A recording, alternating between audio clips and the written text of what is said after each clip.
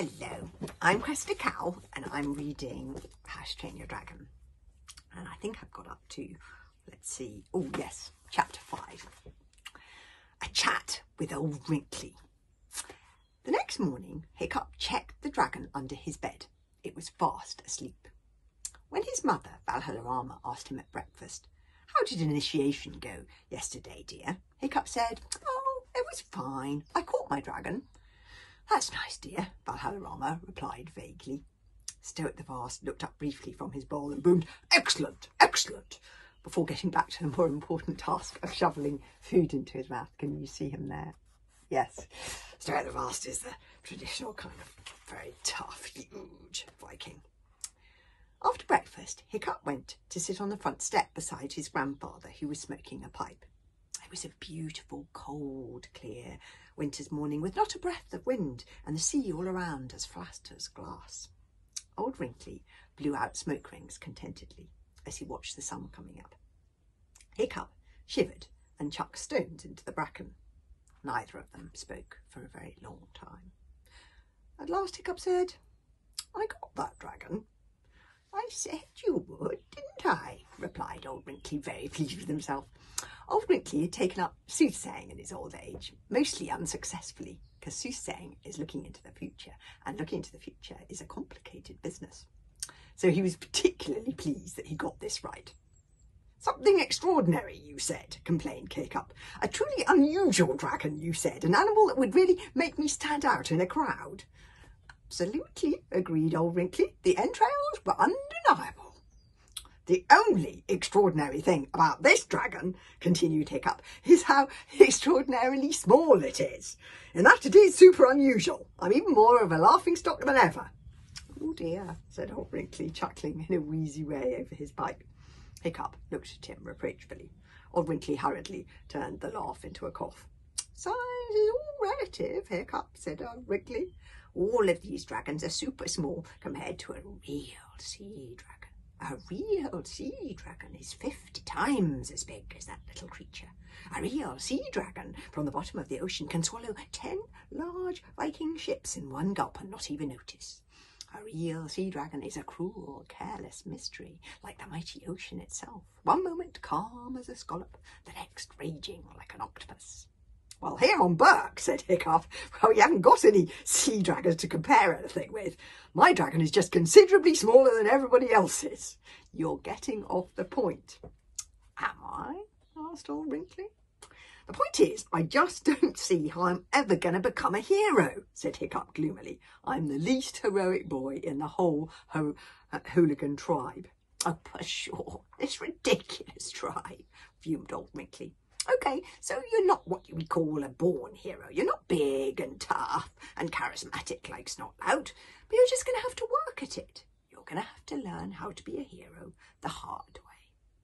Anyway, said old Wrinkly, it might just be what this tribe needs, a change in leadership style. Because the thing is, times are changing. We can't get away with being bigger and stronger and more violent than everyone else anymore. Imagination.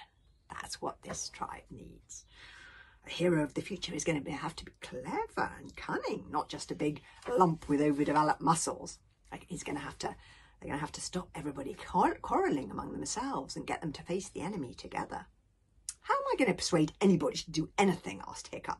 They've started calling me Hiccup the Useless. This is not a great name for a military leader.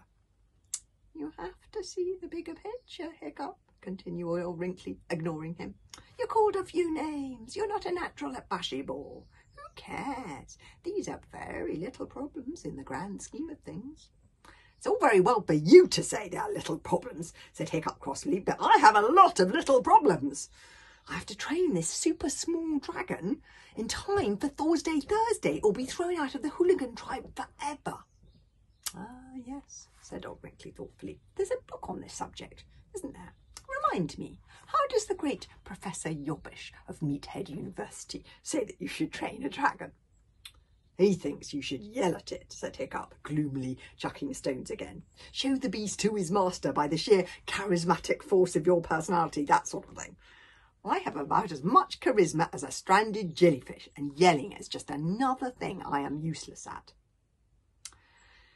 Yes, said old Wrinkly, but maybe you'll have to learn how to train your dragon the hard way. You know a very great deal about dragons, don't you, Hiccup? All that dragon watching you've been doing over the years? That's a secret, said Hiccup uncomfortably. I've seen you talking to them, said old Wrinkly. That's not true, protested Hiccup, going bright red in the face. OK then, soothed old Wrinkly, calmly smoking his pipe. It's not true. There was silence for a bit. It is true, admitted Hiccup. But for Thor's sake, don't tell anybody. They wouldn't understand. Ah, dragon whispering, talking to dragons, is a highly unusual skill, said old Wrinkly. Maybe, said old Wrinkly, you can train a dragon better by talking to it than yelling at it. That's sweet, said Hiccup, and a very touching thought. However, a dragon is not a fluffy creature like a dog or a cat or a pony. A dragon is not going to do what you say just because you ask it pretty please. From what I know about dragons, said Hiccup, uh, I should say that yelling at it was a pretty good method. But it has its limitations, doesn't it? Old Wrinkly pointed out. I would say that yelling was a highly effective on a dragon smaller than a sea lion and positively suicidal if you want to try it on something larger. Why don't you come up with some alternative training schemes yourself. You might be able to add something to Professor Yobbish's book. I've often thought that that book needs a little something extra. I can't quite put my finger on it. Words, said Vic Hiccup. that book needs a lot more words. And I'm going to read you chapter six because it's really exciting and I can't resist. Meanwhile, deep in the ocean, Meanwhile, deep in the ocean, but not so very far from the Isle of Berk, a real sea dragon, such as old Wrinkly had been describing, lay sleeping on the seabed. He was indescribably large. He had been there so long that he almost seemed to be part of the ocean floor itself, a great underwater mountain covered in shells and barnacles, some of his limbs half buried in the sand. Generation after generation of little hermit crabs had born and died in the dragon's ears. Hundreds and hundreds of years he'd slept because he'd had rather a large meal, this dragon. He'd had the luck to catch a Roman legion camping on a cliff top. They were completely cut off, and he had spent an enjoyable afternoon wolfing down the whole lot of them, from commanding officer to lowliest private. Horses, chariots, shields and spears, the entire lot went down the ravenous reptilian gullet. And while things such as a golden chariot wheel are an additional source of fibre to a dragon's uh, diet, they do take some time to digest. So the dragon had crawled down into the depths of the ocean and gone into a sleep coma.